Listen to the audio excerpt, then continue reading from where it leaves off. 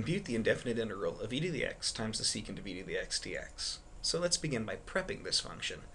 Uh, we're going to have the integral of e to the x times the secant of e to the x. We're just going to include those parentheses that should be there.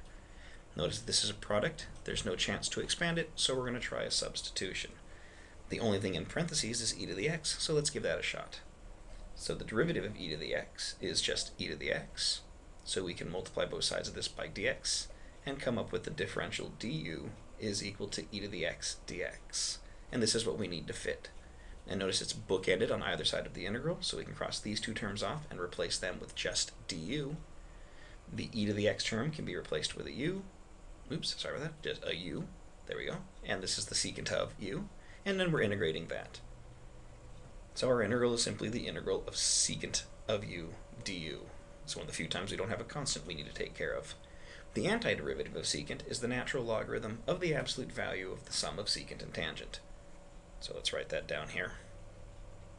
And now all we need to do is back substitute. So we're going to have the natural logarithm of the absolute value of the secant of e to the x plus the tangent of e to the x. That's one antiderivative, and there's all of our antiderivatives. And so there we're done.